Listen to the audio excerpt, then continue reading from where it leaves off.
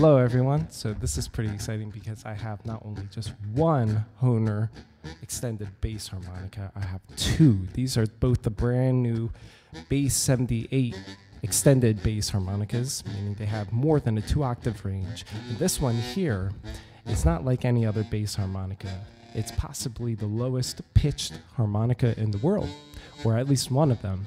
Uh, I have heard of another that someone made of uh, older bass harmonica somewhere in Virginia, but I've never heard it and never seen it. So I'm going to play a full range scale on this so you can hear how it sounds.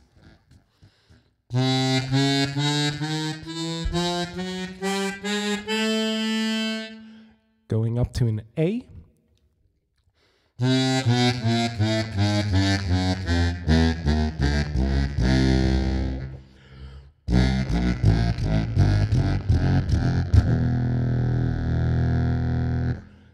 That's the standard E1. The lowest note on bass harmonica is the same thing as the lowest string on uh, upright bass.